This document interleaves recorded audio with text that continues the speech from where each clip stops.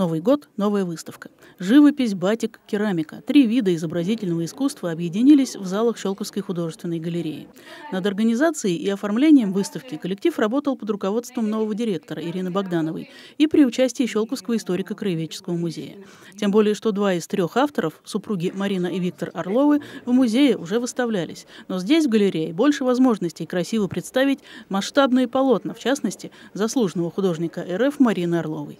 Всю жизнь она посвятила росписи тканей в технике батик. Участвовала в десятках выставок в России и за рубежом. Ее работы хранятся во многих музеях и картинных галереях, в частных коллекциях и даже в постпредстве России при Совете Европы в Страсбурге.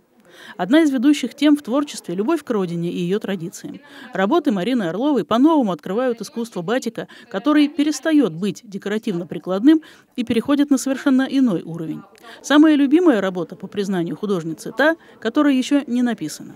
А о тех, что можно увидеть, Марина Эдмундовна рассказала гостям выставки. Я рисовала, когда подхожу к этим женщинам и говорю, а почему у вас одни женщины косят траву, вообще степь? Чуваша это степь с оврагами. Я говорю, а где мужики-то ваши? Рыбу ловят. То есть там э, в основном всю такую вот трудную работу выполняют женщины. Большой интерес гостей вызвало вот это полотно – триптих «Противостояние прошлого», написанный к юбилейной выставке, посвященной 200-летию Отечественной войны 1812 года. Произведение выполнено в технике «горячий батик», когда рисунок наносится расплавленным воском. Работа над этим полотном заняла полгода. Конечно, думала, как вот, э, что, э, что изобразить, как это изобразить. И это, чтобы все было декоративно, и в то же время не назойливо, не навязчиво, не в лоб. И, ну, думал, думал, придумал. Очень много эскизов было сделано. На живописных полотнах Виктора Орлова красота родной природы, которой он готов восхищаться в любое время года.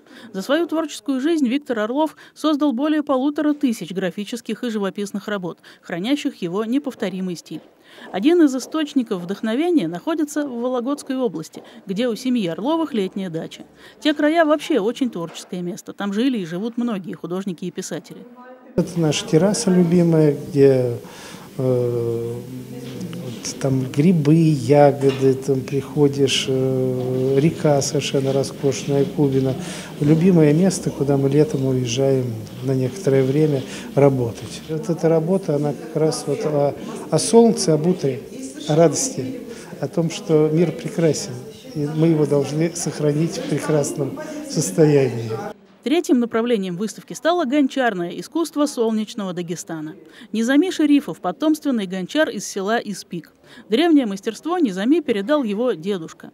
С тех пор он занимается возрождением испикской керамики, одного из старинных дагестанских ремесел. На выставке представлены гончарные формы крупных размеров, интерьерные кувшины, амфоры, а также мастер занимается изготовлением предметов утилитарного назначения.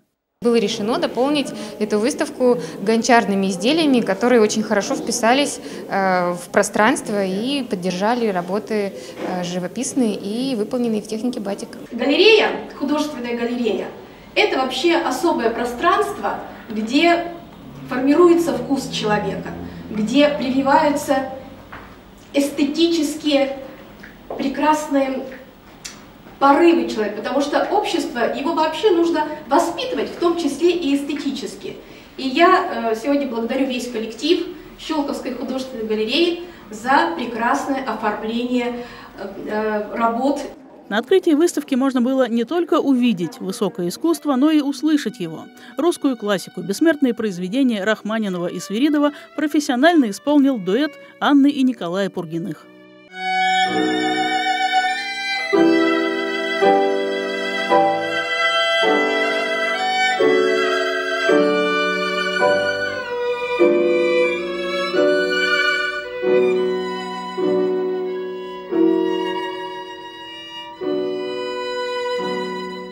Выставка «Пою мое отечество» будет работать в Щелковской художественной галерее до 25 февраля. Ирина Микеда, Сергей Василевский, Щелковское телевидение.